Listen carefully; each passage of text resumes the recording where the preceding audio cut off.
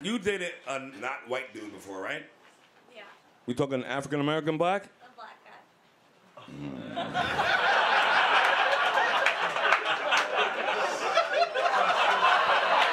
Happy Juneteenth.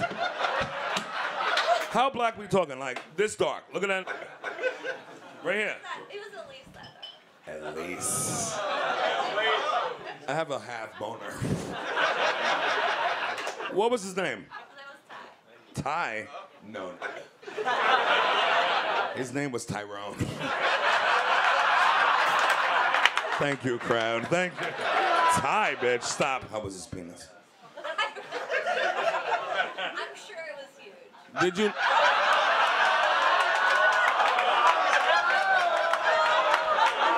That was my reparations. That was my 40 acres and a mule.